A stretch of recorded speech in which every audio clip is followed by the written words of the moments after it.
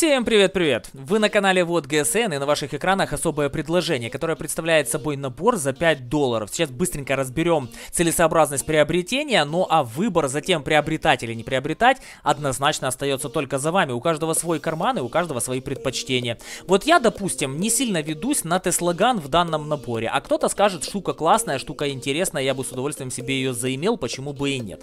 Стоимость данного Теслагана, если вы просто зайдете, как я сейчас это сделал, допустим, на примере Су-100Y, зайдете в Су-100Y, зайдете в э, улучшение ее внешнего вида, то Теслаган вам обойдется в полторы тысячи золотых монет. Таким образом, получается, что если считать по стандартному курсу плюс-минус 750 золота за 1 доллар, за 5 баксов при нормальном плюс-минус грамотном донате вы сможете приобрести себе 3750 золотых монет. Я не знаю, кто как донатит, некоторые ждут исключительно предложений, в которых можно приобрести себе э, за доллар одну тысячу голды. Такие предложения индивидуальные периодически выскакивают. Но если донатить плюс-минус там периодически, то нормальные предложения уже будут по 750 золота за 1 бакс. Таким образом получается, что за вот этот вот, э, за стоимость, точнее, вот этого вот набора, вот этого предложения, вы можете приобрести себе 3750 голды.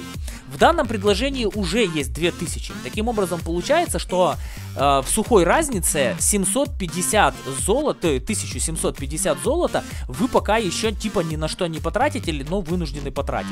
Теслаган стоит, как я уже сказал, полторы тысячи, и это если он вам нужен. Если он вам не нужен, то за 1750, будем считать, Теслаган вам просто подарили вдобавок к 2000 голды, то за 1750 вы получаете 4 контейнера, из которых с вероятностью какой-то что-то вам выпадет. В целом 1750 золота за эти 4 контейнера это вполне нормальный ценник, потому что вот этот контейнер только, допустим, стоит 500 золота, если взять его набором 3 контейнера за 1500. Таким образом получается 1 500, как я и сказал.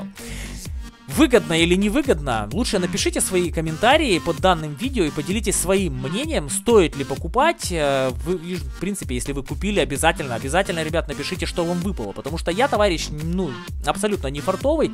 Платные контейнеры не люблю, потому что за 8 лет на всех моих аккаунтах, а у меня их не 3, не 5 и не 7, выпала всего лишь одна машина за 8 лет. И после этого я поставил на себе крест в отношении платных контейнеров и сказал, что я на них вестись не буду. Ну, по крайней мере, до тех пор, пока мои финансовые возможности не начнут позволять мне крутить вот такие вот рулетки и играться не то чтобы с судьбой, но с собственной нервной системой.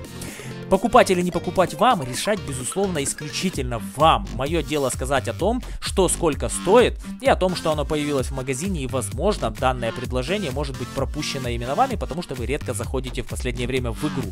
А на данный момент у меня все. Всех благ, всего хорошего, мира, друзья мои, и обязательно спокойствия. Пока-пока!